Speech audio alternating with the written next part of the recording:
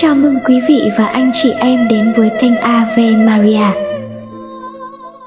Kính thưa quý vị, sau đây là những ơn lành từ Đức Mẹ Maria. Câu chuyện chuỗi hạt mân côi với lửa hỏa mục Câu chuyện thật lì kỳ rùng rợn, nhưng đó là sự thật. Vì nếu chúng ta có đức tin, hiếu biết được thiên đàng, luyện ngục, hỏa ngục. Thiên đàng là nơi Chúa thưởng kẻ có công, luyện ngục là nơi Chúa dùng để tẩy rửa kẻ có tội. Hỏa ngục là nơi Chúa phạt trầm luân những kẻ bội phản với Thiên Chúa. Khi suy ngẫm về hỏa ngục và các hình phạt trong hỏa ngục, thì có nhà thần học đã nói có lẽ Chúa là đấng tốt lành nhân tử vô cùng. Có thể sau một thời gian nào đó, Chúa cũng sẽ đối án phạt trong hỏa ngục. Đó là sự suy luận vô căn cứ. Giáo hội công giáo đã dạy rõ ràng trong sách giáo lý câu 1033 rằng chết trong khi đang phạm tội trọng mà không sám hối thì sẽ phải mãi mãi lìa xa Chúa. Và những hình phạt trong đó quả là ghê gớm. Banit, một kỹ nữ rất nổi tiếng ở Florence, nước Ý, nàng đã dùng nhan sắc mình phạm không biết bao nhiêu là tội ác xâm ô. Nàng đã khuynh đảo phá tán không biết bao nhiêu gia đình đang có hạnh phúc. Nhiều bà ghen tương có âm mưu toan sát hại nàng cho thỏa lòng ghen tức. Một hôm cha thánh Deominiceo đến giảng ở Florence. Rất nhiều người công giáo đến nghe. Lẽ tất nhiên là cha giảng về kinh mân côi và quyền lực của chuỗi hạt mân côi.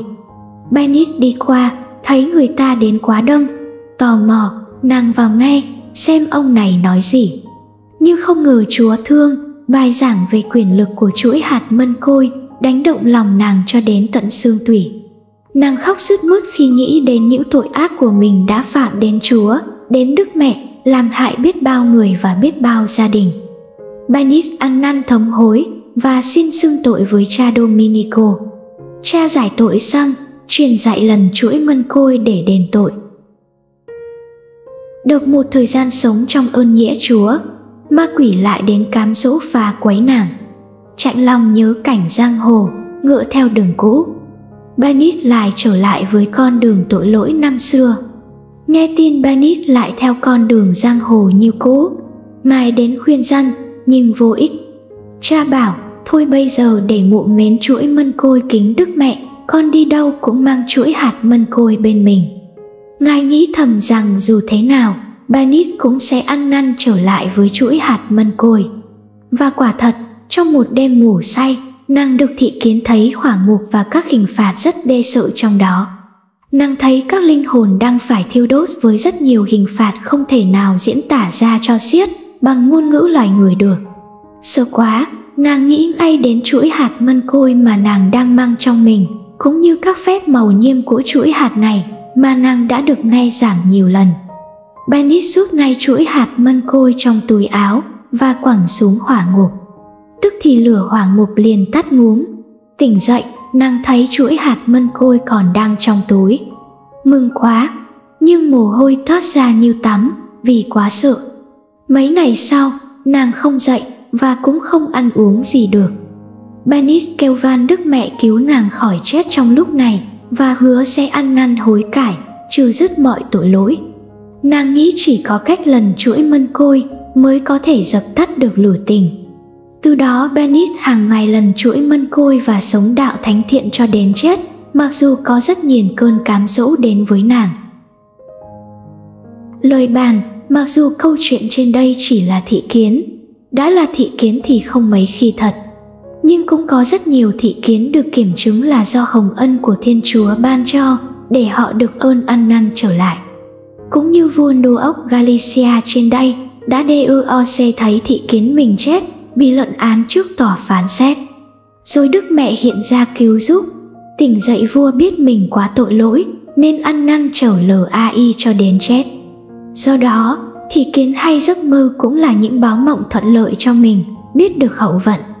Thì kiến của Banit thấy hỏa ngục và quyền lực của chuỗi mân côi làm cho nàng được ơn ăn năn trở lại. Điều này nói lên ý nghĩa rất quan trọng là chuỗi hạt mân côi dập tắt được lửa hỏa ngục thì tại sao chuỗi hạt mân côi không cứu được những thiên tai, thảm trạng? Sóng thần ở Indonesia và bão Katrina ở New Orleans đã làm chứng cho những sự lạ này. Khi sóng thần tràn vào hơn 30 cây số trong đất liền, tan phá hủy diệt hầu như tất cả, chỉ trừ có một thánh DUONG kính Đức Mẹ đang có nhiều người tụ tập lần chuỗi mân côi thì được thoát khỏi. Bão lụt tràn vào New Orleans, tất cả mọi nhà đều ngập lụt phải vội vàng di tản. Riêng chỉ có một gia đình vợ chồng con cái họp nhau lần hạt thì được bằng an vô sự. Kinh nghiệm bản thân cũng nói lên được những ân huệ do chuỗi hạt mân côi, sẽ jeep tôi đậu sát lề bên cầu xi măng. Hai bánh xe chúi về phía trước nhiên hẳn một bên, chỉ còn TICTAC là xe lộn nhào xuống sông, sẽ có chết hoặc bị thương. Một lần khác xe qua khỏi chừng 5 giây đồng hồ, thì mình Claymore nổ tung một đoạn đường. Lần khác trời mưa tầm tá, xe Jeep đang đi nhanh, bốn bánh xe quay tròn, DUOC trốn đâm thẳng vào khu vườn, bay qua hai đợt vòng rào dây kẽm gai, chúi xuống một hố nước sâu ba thước, nằm gọn lỏng. Dân làng kéo ra biết chắc thế nào cũng có người chết hay bị thương. Nhưng tất cả được bình an vô sự, kiểm điểm lại thấy trong người có đeo chuỗi hạt mân côi. Trong túi quần cũng còn một chuỗi hạt mân côi nữa. Đó là Đức Mẹ Mân Côi đã cứu mình khỏi tai nạn chỉ trong gang tấc. Câu chuyện chuỗi hạt mân côi với cô gái điếm Helena, một kỹ nữ nổi tiếng ăn chơi xa đọa trong vùng. Nàng đã mang kiếp cầm ca và kỹ nữ khi còn rất nhỏ tuổi. Mẹ chết sớm, nàng ở đợi cho một người bà con bên mẹ. Vì quá cực nhọc đau khổ, đêm ngày bị người ta hành hạ. Nàng bỏ nhà trốn đi, ở chung với bè bạn xấu. Vì có nhan sắc, chẳng mấy chốc Helena trở thành một giai nhân tuyệt sắc, làm cho nhiều người say mê. Cuộc đời cứ thế kéo dài hết năm nọ sang năm kia. Sống trong tội lỗi quá, rồi cũng chán, thấy lòng mình trống rỗng không nơi nương tựa khi tuổi đã xế chiều. Một hôm nàng theo bè bạn vào nhà thờ, chủ yếu là đi chơi, chẳng có ý đọc kinh cầu nguyện gì cả tình cờ được nghe một bài giảng về lợi ích của chuỗi hạt mân côi và màu nhiệm kinh mân côi. Ra khỏi nhà thờ, nàng quyết chí đi tìm mua cho bằng được một chuỗi hạt mân côi để trong sắc tay. Vì linh mục giảng, mỗi khi bạn cảm thấy cô đơn, buồn chán trong tâm hồn thì đọc kinh mân côi sẽ được Đức Mẹ ngự đến an ủi. Nếu không tin, bạn cứ thử thì sẽ thấy lời chúng tôi nói là chính xác. Helena làm y như vậy. Lúc đầu, nàng cảm thấy không hứng thú, như lần hồi càng ngày càng thấy tràn ngập vui sướng thiêng liêng. Helena thấy đời mình tội lỗi quá sức, ghê tởm và nhức nhối khi nghĩ đến kiếp giang hồ bấy lâu này. Nàng đi xưng tội và quyết tâm chừa bỏ mọi tội lỗi để trở về với Chúa với Đức Mẹ. Một không lần chuỗi hạt xong, nàng đến quỳ gối trước tượng Đức Mẹ mà than thở, kính thưa mẹ. Con chỉ là một tên ác phụ, nhưng mẹ đã cứu giúp con cho con được ơn ăn năn trở lại qua chuỗi hạt mân côi của mẹ. Con xin phó chót linh hồn và thân xác dơ giấy của con cho mẹ. Từ nay con quyết chí ăn năn thống hối xin mẹ phù trì hộ giúp. Nghe lời cầu xin của nàng đức mẹ liền phán bảo helena con đã phạm tội nặng nề làm mất lòng chúa và mẹ. Nay con bắt đầu cuộc sống mới mẹ sẽ ban ơn dồi dào cho con Helena can đảm bán hết của cải phân phát cho người nghèo và sống một cuộc đời khổ hạnh, ăn chay hãm mình đền tội. Những cơn cám dỗ như những đợt sóng cuồng loạn tới thấp vây hãm và tấn công nàng. Nhưng với khí giới là chuỗi hạt mân côi, nàng đã lướt thắng tất cả. Sau một thời gian chịu bệnh để đền tội, Helena đã được Chúa và Đức Mẹ đến thăm và đưa linh hồn nàng về hưởng phúc trên thiên đàng. Lời bàn, những người Dewa xây ơn ăn năn trở lại qua chuỗi hạt mân côi thì rất nhiều. Nhưng mỗi trường hợp lại có tình tiết khác nhau. Một cô gái điếm chuyên nghiệp như helena mà được ơn ăn năn trở lại thì phải nói là ơn đặc biệt. Có biết bao nhiêu cô gái điếm, ngựa theo đường cũ, không bao giờ chịu ăn năn trở lại.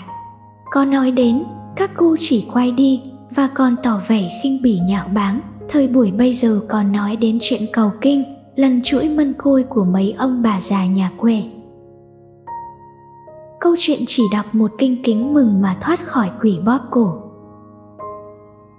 có hai thằng bạn bộng nhậu ăn chơi trác táng thường rủ nhau là cả đến trốn bình khang.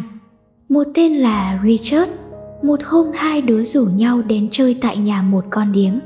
Sau khi ăn nhậu và thỏa mãn thú vui xác thịt, Richard về nhà trước để thằng bạn ở lại một mình về sau. Lọn trọn về đến nhà, chưa kịp cởi quần áo, đã lăn ra ngủ. Nhưng chàng nhớ lại hôm nay chưa đọc kinh kình mừng, kinh mà mẹ chàng dạy từ khi còn nhỏ. Chàng cố gắng ngồi dậy đọc trợ trạo cho xong. Vì quá say sưa, cho nên ngủ như vùi. Tỉnh giấc, chàng nghe có tiếng gõ cửa rất mạnh. Chưa kịp ra mở, thì chàng sửng sốt thấy thằng bạn đứng sững trước mặt với bộ mặt biến dạng, trông rất ghê gớm. Richard kêu kên, ai đây? Tao là bạn của mày, không nhớ à? Sao hình thù mày ghê gớm quá? Khốn thân tao, vừa ra khỏi nhà con điếm, tao bị thằng quỷ chặn lại bóp cổ. Xác tao còn nằm sống sượt ngoài phố, nhưng linh hồn tao đã bị quăng xuống hỏa ngục. Còn mày, tao bảo cho biết, nhờ Đức Mẹ Đồng Trinh gìn giữ mày, nhờ có mấy kinh kính mừng mày đọc hàng ngày mà được thoát khỏi nanh vuốt quỷ dữ. Nói rồi hắn mở áo ngoài ra, lửa bốc cháy nguồn ngụt, khét lạch mùi diêm sinh, rồi hắn biến mất. Richard vội vàng sắp mình xuống đất, ăn năn thống hối các tội mình đã phạm từ xưa. Đức mẹ đã cứu mình khỏi bị chết trong tay quỷ dữ là nhờ quyền lực của kinh kính mừng. Từ đó chàng quyết chí cải tạo cuộc đời, sống đạo đức thánh thiện. Bỗng chốc nghe tiếng chuông báo hiệu hát kinh sớm mai trong tu viện thánh Francisco. Chàng biết là có ơn Chúa kêu gọi. Richard lập tức xin vào dòng tu và trình bày mọi sự việc cho các thầy dòng. Hai cha dòng liền đến quan sát hiện trường và quả thật xác của bạn chàng bị bóp cổ cháy đen như hòn than. Richard đã xin vào dòng thánh Francisco, sống cuộc đời hết sức thánh thiện. Được cử đi giảng đạo ở Ấn Độ, rồi qua Nhật Bản, bị án thiêu sinh, được phúc tử đạo. Năm 1867, hội thánh đã tôn phong chân phước cho chàng, tức là chân phước Richard Zehame Sur HAVKRE. Lời bàn, câu chuyện đã xảy ra năm 1604 tại tỉnh Flandres, phía đông nước Bỉ. Chân phước Richard là một bằng chứng nói lên quyền lực của kinh kính mừng. Thánh Louis Mary Whitney de Montfort thường khuyên chúng ta mỗi khi đi qua tượng ảnh Đức Mẹ, hãy đọc một kính kính mừng để chào kính mẹ. Chuyện tích kể trên cho ta thấy chỉ một kinh kính mừng mà Đức Mẹ đã cứu giúp như vậy. Huống hồ hàng ngày lần hạt một chuỗi mân côi thì còn được Đức Mẹ ban nhiều ơn lành biết bao. Tại thành phố Napoli nước Ý, giáo dân có thói quen dựng tượng Đức Mẹ ngay các ngã tư, góc phố để người ta qua lại, chào kính Đức Mẹ bằng một kính mừng.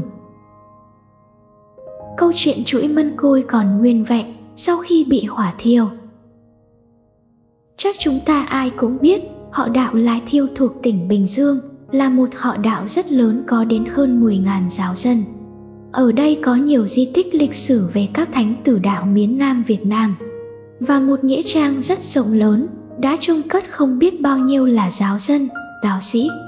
Thi hài cựu Tổng thống Ngô Đinh Diệm và bảo đệ Ngô Đình Nhu cũng đã DUOC an táng tại đây sau khi nghĩa trang đô thành bị giải tỏa.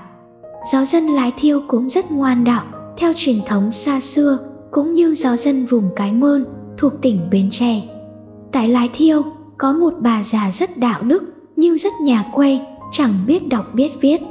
Khi đi nhà thờ tham dự thánh lễ, bà chỉ biết làm có hai việc, rước lễ rồi lần hạt mân côi. Bà cứ ngồi lần hạt cho đến khi cha ra làm lễ. Thấy người ta lên bàn thờ rước mình thánh thì bà cũng lên. Rước lễ xong, bà xuống lại tiếp tục lần chuỗi mân côi. Có người nói với bà, xem lễ là xem lễ, lần hạt là lần hạt, hai việc khác nhau.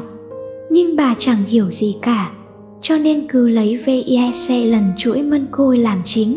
Ai bảo sao nghe vậy?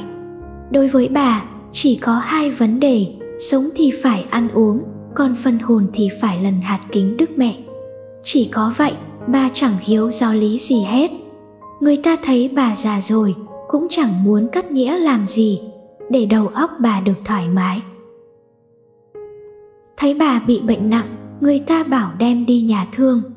Nhưng bà nhất định không ngay, cứ xin ở lại và chết ở nhà, có hàng xóm lo liệu. Mấy ngày trước khi chết, người ta đến thăm, vẫn thấy bà nằm lần chuỗi mân côi.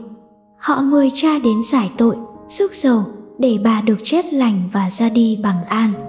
Có một điều rất lạ là bà cứ nhắm mắt gần như đang hấp hối, mà tay vẫn lần chuối, miệng mấp máy, cho đến khi tắt thở.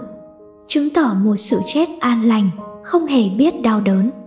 Để lo việc hậu sự, người ta bản đem chôn ở nghĩa trang nhà xứ. Nhưng khi còn sống, bà đã chối chăng? Nếu khi chết xin thiêu xác lấy cho đem vào nhà thờ để vì bà không có con cháu lấy ai thăm viếng mồ mả? Người ta đem xác bà đi hỏa thiêu. Sao được đặt y nguyên với chuỗi hạt mân côi mà bà vẫn đeo ở cổ? Một sự lạ xảy ra được nhiều người chứng kiến. Sau khi hỏa thiêu xương cốt cháy tan tành. Khi xúc cho cốt để vào bình thì lạ thay chuỗi hạt mân côi mà bà vẫn đeo và đọc kinh khi còn sống vẫn được giữ y nguyên. Xin nhớ rằng với sức công suất điện năng rất mạnh, chỉ trong nháy mắt là thân xác xương cốt hoàn toàn tiêu hủy.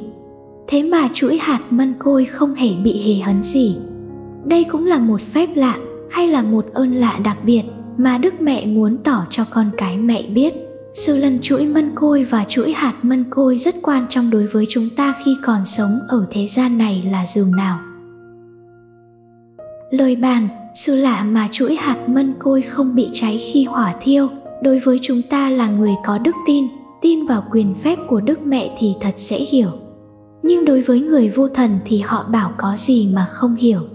Chuỗi hạt mân côi làm bằng vật cứng, kim loại thì không thể bị cháy sức điện năng một nghìn thì vật gì mà không cháy?